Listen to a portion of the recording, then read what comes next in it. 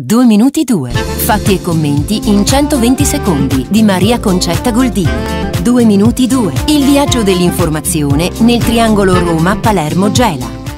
Nuovo appuntamento con 2 minuti 2 da Maria Concetta Goldini, un saluto a tutti gli ascoltatori. Ma che fine hanno fatto le consulte istituite dal Consiglio Comunale, quelle ad esempio al turismo o al decoro urbano e ce ne dovrebbe essere anche una alla cultura? Chi le ha viste? È un momento particolare per la vita della città, quello in cui l'opinione pubblica è concorde nel sostenere che bisogna incentivare lo sfruttamento dei tesori culturali, di, delle ricchezze archeologiche e naturalistiche del nostro territorio. C'è un appuntamento evento importante che aspetta Gela, molto più importante della mostra su Ulisse a Bosco Vittorio che sta infiammando tanto il dibattito cittadino. È l'apertura agli inizi del 2023 del Museo della Nave, sempre a Bosco Vittorio. Le mostre hanno un inizio e una fine, prima o poi quella su Ulisse chiuderà i battenti. Il vero investimento è sul Museo del Mare, che resterà per sempre e non bisogna farsi trovare impreparati. Serve la decisione di una città intera sulla direzione decisione da prendere, partendo dal sentire le consulte comunali, le associazioni di settore, gli specialisti. Un progetto attorno al museo della nave va costruito, ciascuno deve metterci qualcosa. Se non si rema tutti nella stessa direzione, è la nave gela che affonderà. Al prossimo appuntamento.